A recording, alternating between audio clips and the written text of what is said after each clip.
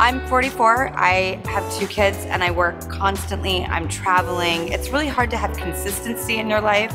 My body isn't the same after having two kids and even just on a functional level, if I would try to work out, I kept injuring myself.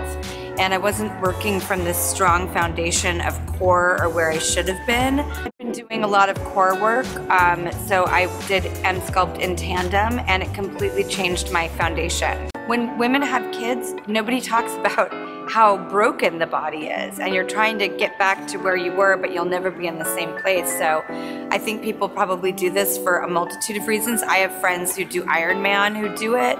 Me as a mother who couldn't put her body back together the right way that was why i did it is i just wanted health and wellness in my life